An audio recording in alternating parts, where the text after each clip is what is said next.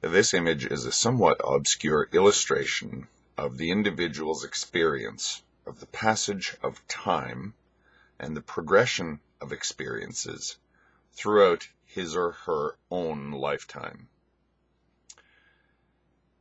Imagine that you're in the back seat of a car facing out the rear view mirror and the car is in motion. What you're seeing is essentially your life in this image. The road is your life. It starts at the present, which is one of the four borders of this image, and it goes back to the vanishing point, which is indicated as your birth. the other elements in this image are experiences of your life, the things that you have experienced. For example, A is a building that I can see stretching into the present, the present being the right-hand border of this image. It's a large building, or at least from the point of view of the spectator, from my point of view. I am the person in the back seat of the car looking backwards uh, from a forward moving vehicle. A would be, for example, my spouse. I did not know my spouse at the time of birth. So there's a large part of this image that does not contain my spouse, my wife. But at some point in the recent future, at least compared to the rest of my life, I met my wife. Now that would be the left-hand corner of the building. You notice we can only see a tiny image of the right hand, although I suppose to make this image accurate, we wouldn't see the right-hand corner of this building at all. But A would be my spouse. She occupies a very large part of my perception, but she has only come into the picture of my life fairly recently. B would be someone I have known most of my life, if not all of my life, but they don't really have, they weren't that important to me, at least in terms of overall importance in my life, um, compared to my spouse. Say that might be my best friend, or just a friend that I've known my entire life. You note that B, the sidewalk, stretches all the way back to the vanishing point, or at least as far back as I remember. Someone I know that's not quite as important in the scheme of things as my spouse, but I've known for a long time and still know up to the present. Hence, B forms something of a, to use an artistic term, an infinity line that goes off the margin of this image into the present. C would be somebody that I met just slightly before my spouse and then ended my contact with, or um, this person left my life uh, at some point where in the recent past. So C is a building. If C is a building that represents um, someone that I knew for a finite period of time that was relatively important to me in the fairly recent past, say in the last decade or so. D is someone who has occupied a similar place in my life, but prior to that. Someone I met before my spouse, but I also only knew in the recent, relatively recent past. So, since it's a large image, I still have strong memories of this person, but um, I no longer am in contact with them. They're no longer part of my life. E, in my case, would be my mother. I knew her all my life, uh, up until she died at um, the age of 23, my age of 23. She was very important in my life, um, but is no longer there. I had to sort of make E as sort of an artificial construct in this because I couldn't find an image with a building like that. Um, so she was important, extremely important in my life. And, but she did come to a, an end my experience of her in my life, although I can still see E in the form of memories. But I'm no longer having new experiences of her, in the same way as I'm no longer having new experiences of C or D. So, we are looking back towards the vanishing point, and our experiences sort of fly by on the four borders of this image that is the normal perception of time and experience.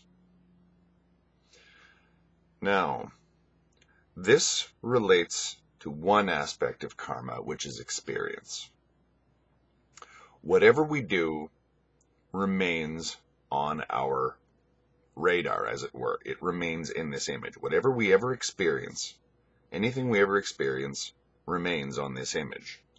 At least so long as we have any memory of it, subconscious or otherwise. the only point at which things vanish is when that individual memory reaches the vanishing point. In other words, if I remain in this car long enough, eventually D will go off the map, or E will go off the map. I will lose memories even of that person. Now that would have to be an awfully long road to have someone forget their own mother, but it is at least theoretically possible. D, forgetting D, I suppose, would make more sense. Um, but uh, in any case, I think the uh, the image is sort of coming into clear into, into a clear picture now. The point of this in relation to karma is that we all have this kind of an image. We all have this canvas which represents our view of everything that we are. These are all of our experiences, and we all have a slate like this. We all have an image like this. Karma is everything that would appear on our own image. Bordered on the four sides by the present, with a perhaps infinite number of buildings in there and little tiny details. One could include, say, the telephone pole or the telephone wires. Telephone wires to the right hand, uh, upper right hand part of this image would be a small thing that we have known all of our lives and continue to know. It's not very important in our lives. It might be, for example, um, some small object that one has always had, a little keepsake, something important. Um, all the wires, or most of the wires in this photo, go off the screen in, into the present. In other words, we've got a lot of small things that we've had for as long as we can remember.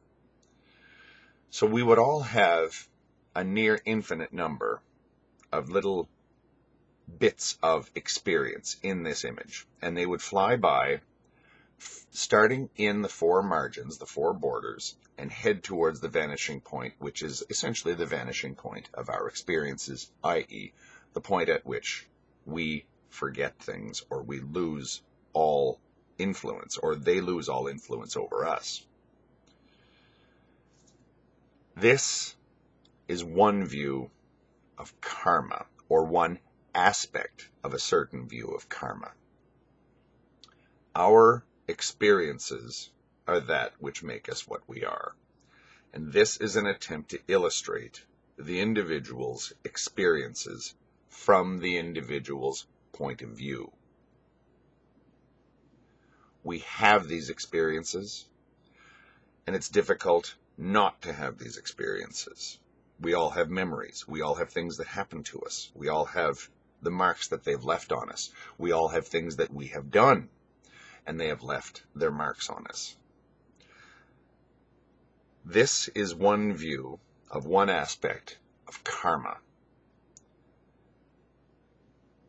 If we were to take some sort of eraser and erase this, erase all of this, and yet still exist in the back seat of that car, looking backwards on as the car moves forward, and we erased the entire image, we would have someone who has erased all of his or her memories of any experiences of anything. It would essentially be what a newborn sees as his or her experiential path. In many ways, karma is experience. It is our experience of everything and the effect that that has on us. And important experiences tend to dominate our view.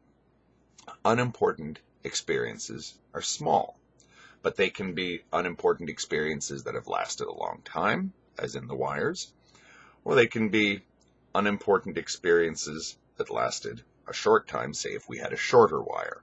Or they could be very important experiences that have lasted a relatively short period of time, such as my marriage. A. But put together, each of us has a canvas on which our life is, as it were, inscribed by the passage of time, by our movement in that car, as it were, backwards, although it's almost as though we are sitting still in this image, and the world, or the street, in this case, a street in Fukushima, Japan, is whizzing past us on all four margins, all four borders.